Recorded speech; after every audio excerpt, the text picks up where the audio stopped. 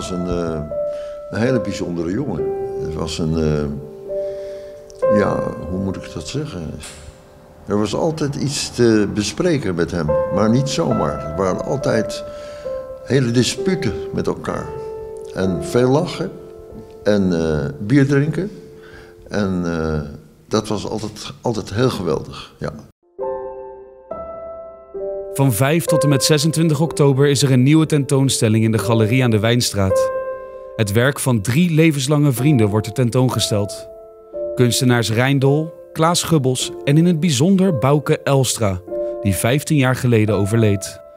Voor de vrienden van Elstra niet alleen een mooi moment om op hoge leeftijd nog te exposeren, maar ook om dat samen met hun vriend te mogen doen, die ze al zo lang moeten missen. We missen hem ontzettend. Klaas ook. Hoe die is, hoe, die in het leven staat. En, en daar hoort zijn werk natuurlijk als een duidelijk onderscheid van allemaal. Ook bij natuurlijk. Hè. Want eh, het, is, het is, ja...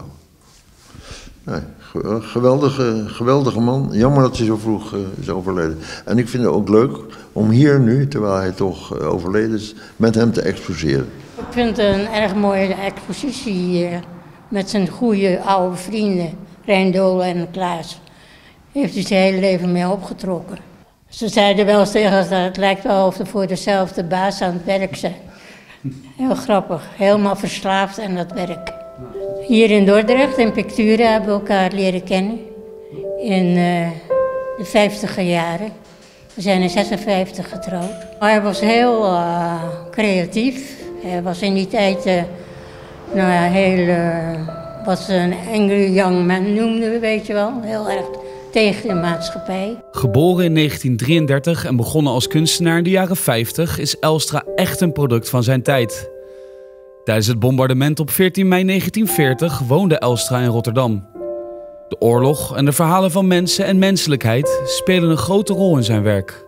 Ook als het over hemzelf gaat. Ja, wat we hier zien is een werk waarin hij een stuk autobiografisch eh, element heeft aangebracht. Dus links onderin ja, zie je mijn vader met mijn moeder en mijn vader is ziek. Het heeft vrij lang geduurd. Eh, daar is hij uiteindelijk ook aan overleden helaas. Maar het is eigenlijk hè, linksboven naar rechts is eh, lopen naar vallen en linksonder en rechts...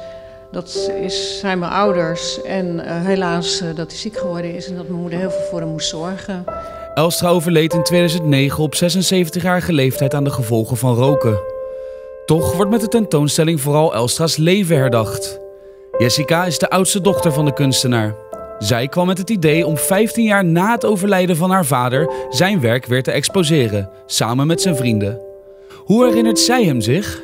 Uh, een echte kunstenaar, dus uh, ja, uh, alles draaide om hem.